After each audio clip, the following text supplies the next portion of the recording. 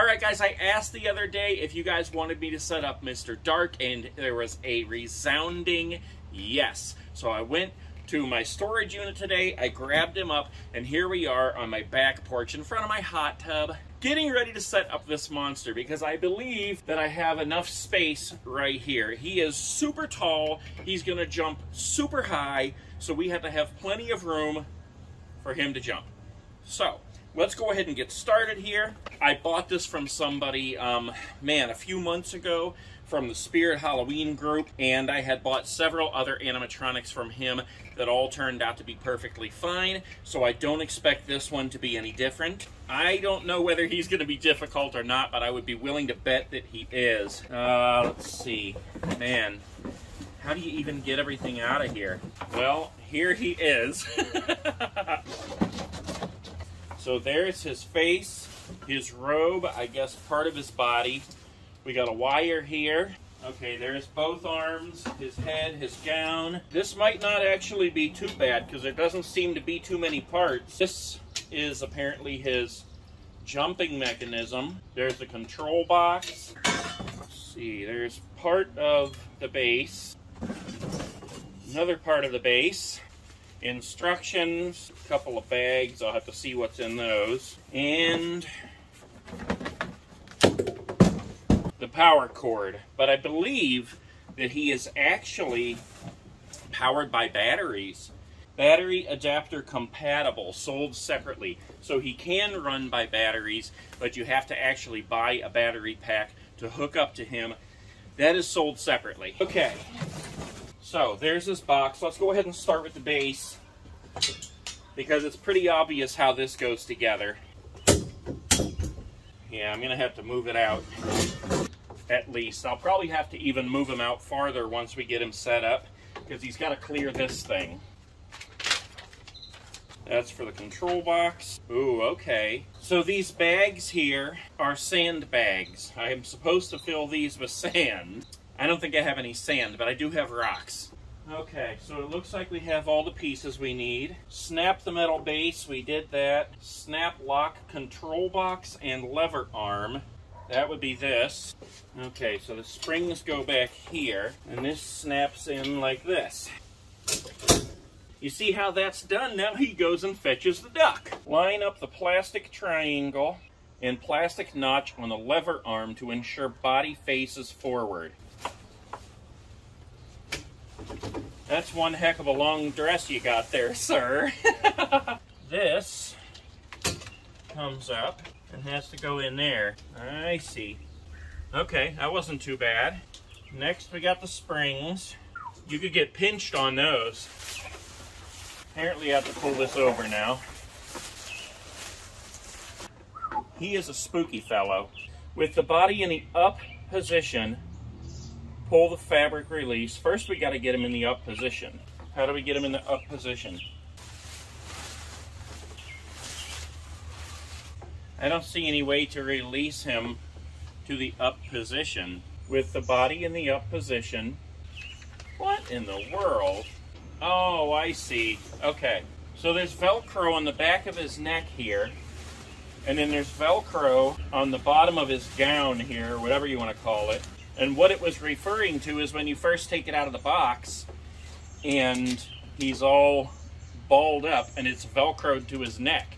Locate the blue fabric insert under the fabric. Insert the blue fabric insert into the square frame.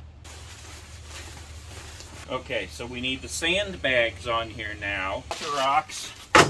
One there, one there, one here.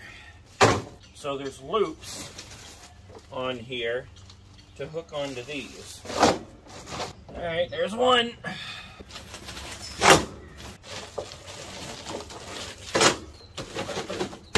Three. Where's this go?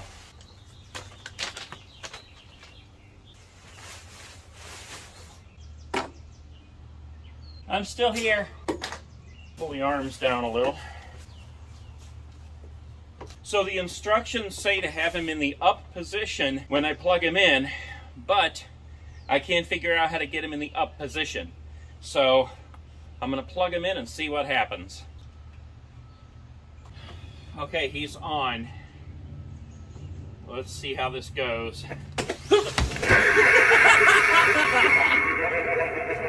he scared the living crap out of me. this is what I love so much about Halloween. That was a legit scare right there. I don't know why I'm so jumpy, but it makes for good videos. He takes a long time to go back down, too. He is so awesome, guys. I'm so glad I bought him. Look at those teeth. All right, so we're going to let him go back down here a minute. My heart is still pounding from this stupid guy scaring the crap out of me. it was so totally unexpected because I came around the side and he jumped. Okay, so the sensor appears to be right on his nose there. So let's just see Okay. Man, he is so awesome.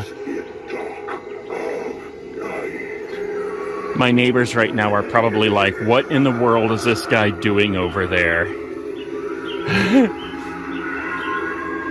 Look how awesome he is, man.